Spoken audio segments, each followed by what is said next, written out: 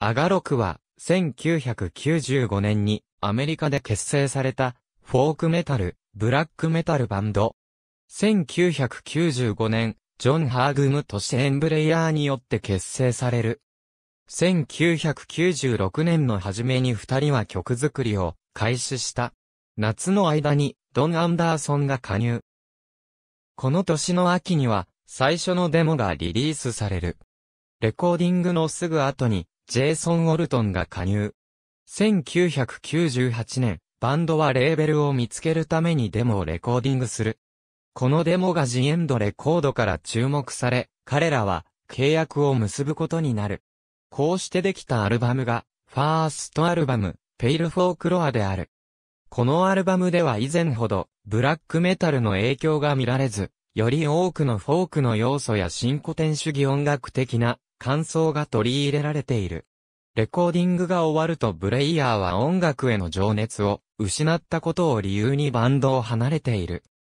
未発表曲を収録した Of Stone, Wind, Pillor をリリース。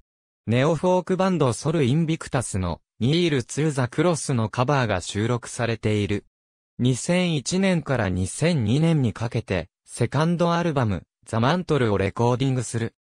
ポストロックの影響が色濃い作風となった。楽曲、ザ・ロッジでは、鹿の骨を蹴って出した音を使うなど、実験的なことも行われている。2003年3月6日、ザ・マントルのリリース後、バンドは、ポートランドで、初めてのライブを行う。2006年、サードアルバム、アッシュズ・アゲンスト・ザ・グレインをリリース。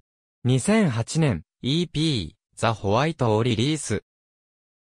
これは2004年から2007年にかけて作られた、フォーク、ダークアンビエントトラックを集めたものである。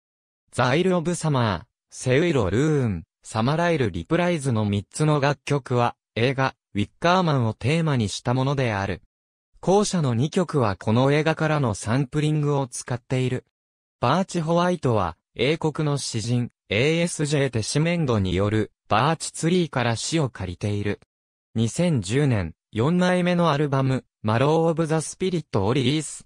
本作品の制作に関して、あるインタビューでジョンはこう答えている。俺たちはもっと生き生きとして、リアルだと感じられるようなアルバムを作りたかったんだ。この前のアルバムは少し機械化されすぎていたし、洗練されすぎだった。もうそういうのには、うんざりしていた。だから、俺たちは、最初のアルバムやデモで使っていたような、古いやり方に戻ることにしたんだ。有機的な感覚を取り戻すためにね。2012年、EP、 Faustian Echoes をリリース。今までで最長の21分にも及ぶ1曲のみが収録されている。ゲーテのファウストを引用した曲で、ヤン・シュヴァンクマイエルの映画、ファウストからサンプリングも使われている。2016年、バンドの Facebook 上で解散を発表。アガロクのテーマは、自然の美しさ、哀愁、先祖伝来のペーガニズムへの言及である。あるインタビューで彼らはカタトニア、ウルベル、ザ・サード・アンド・ザ・モータル、スワンズ、ゴッドスピード・ユー・ブラック・エンペラーからの影響を公言している。また、映画監督のアレハンドロ・ホドロフスキ、ジム・ジャームッシュ、イングマール・ベルイマンの名も挙げている。マルティネリ、ホベルト、インタビュー・ウィズ・ジェイソン・ウォルトン・オブ・アガロック。メイルストロム、ニュー、2007年11月7日時点のオリジナルより、アーカイブ。2008年3月25日閲覧。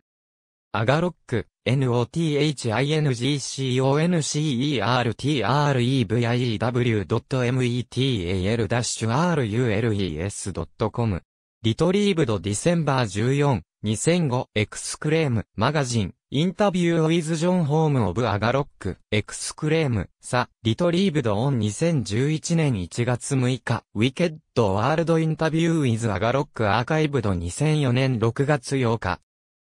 アット・ザ・ウェイバック・マシン、イヤーエイク .com。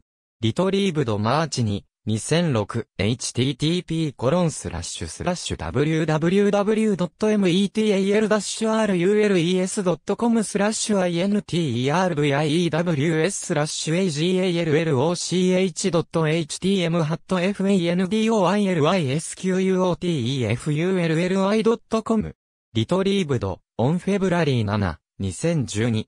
ありがとうございます。